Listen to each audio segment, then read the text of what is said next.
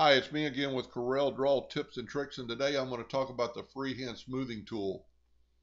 When you grab your freehand tool and you draw a line, look at all the nodes look at all the roughness. It's because you, it's it's because of your hand movement. It's not precise.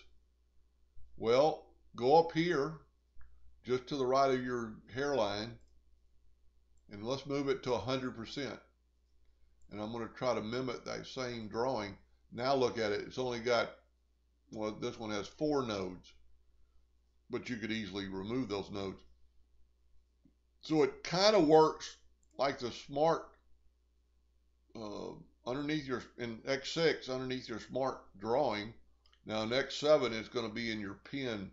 Your smart drawing tool is going to be in your pen, but uh, what it's doing is smoothing out edges and making objects.